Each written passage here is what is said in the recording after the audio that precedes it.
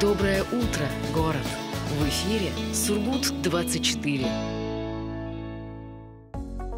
Жителям Югры рекомендуют вспомнить о ношении масок в помещениях, общественном транспорте и такси. Работодатели просят вернуться к обеспечению санитарных правил на своих предприятиях, использовать антисептики, средства защиты и обеспечить социальную дистанцию. В больницах вновь откроются отдельные блоки для приема пациентов с симптомами ОРВИ. Такие рекомендации были озвучены в новом постановлении губернатора Югры. Меры приняты для предотвращения распространения COVID-19 в период роста заболеваемости.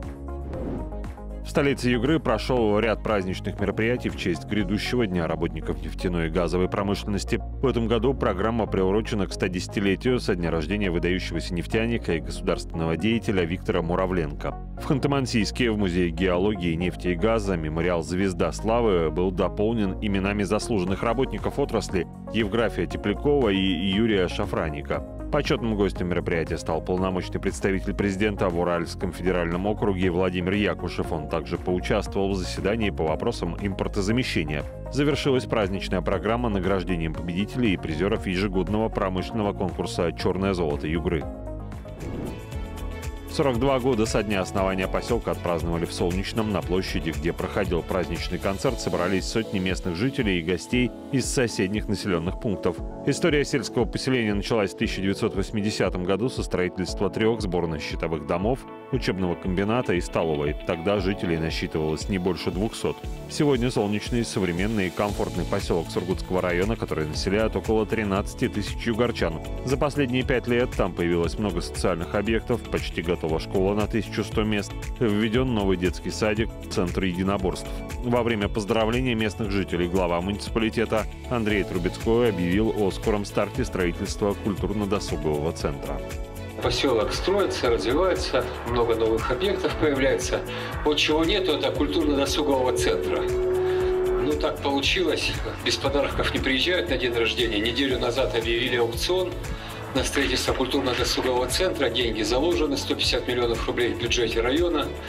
И вот, надеюсь, аукцион состоится и застройщик будет нормальный. И через год будем праздновать уже с новым культурно-досуговым центром в сельском поселении Солнечный.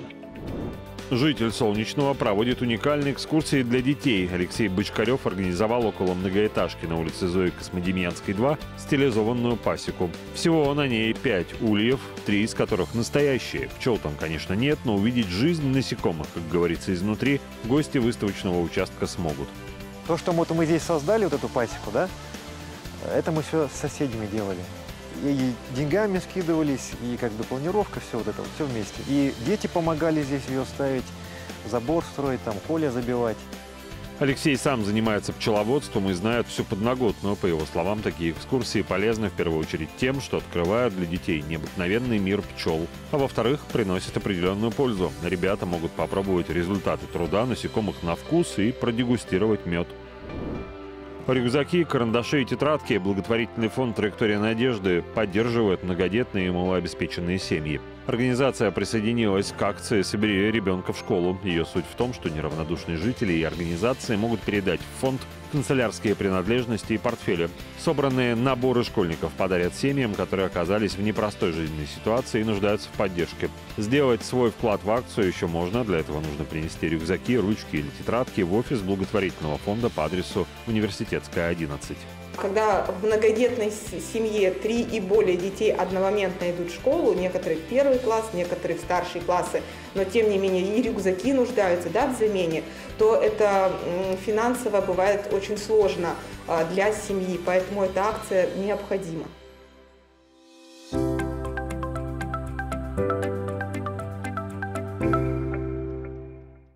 Можно ли купить автомобиль мечты в наше время? Можно. А теперь о том, как это сделать. Приезжаете в офис Autodesk на Монтажную 6. Выбираете автомобиль на одном из аукционов США или новый в Арабских Эмиратах. Заключаете договор и очень скоро ваша мечта осуществится.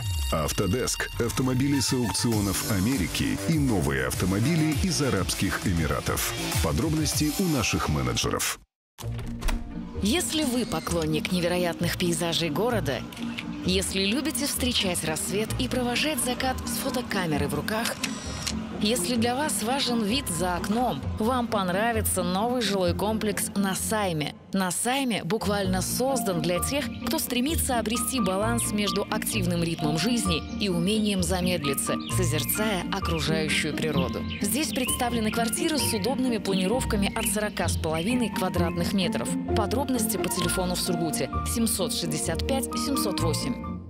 Мировые звезды в Югре 12 сентября в 19 часов на сцене Сургутской филармонии. Заслуженный артист России, обладатель премии Грэмми Ильдар Абдразаков, а также известные оперные исполнители и молодые таланты. Музыкальное сопровождение симфонический оркестр под управлением Константина Чудовского, главного дирижера театра Урал-опера-балет и Государственного кремлевского оркестра. Билеты онлайн на сайте югроклассик.ру. 12+. 7 важных плюсов Телеплюс.